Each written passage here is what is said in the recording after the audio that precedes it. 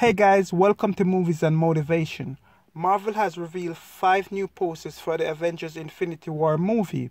These five photos have been divided into the five teams. Let's look at them. For Team Iron Man, we have Iron Man, Strange, Spidey, and Wong, which makes the most sense.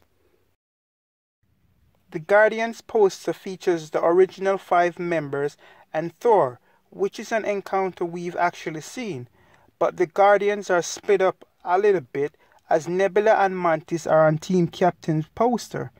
The poster obviously pairs Cap and Bucky, aka White Wolf, but also includes Black Panther breakout star Shuri, who is responsible for Bucky's new outfit.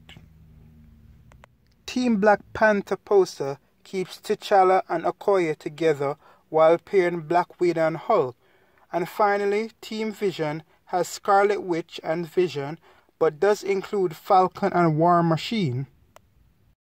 So guys, speaking of the Mind Stone, the posters are also colored with the various hues of the Infinity Stones.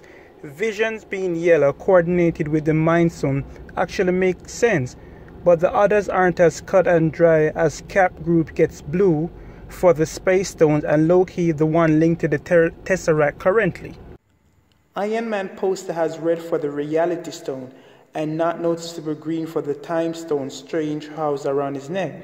Green instead goes to Black Panther group and lastly the Guardian gets purple for the Power Stone which does line up since they were able to wield its power at one time. The only Infinity Stone color missing is the Soul Stone, adding more mystery to what is going on with the final stone. What do you guys think? Comment below. Today's motivation is never invest your dream into someone else. The greatest return on investment is one which you invest in yourself. Thanks, guys. Like, comment, subscribe to get more content, and we'll see you. Take care.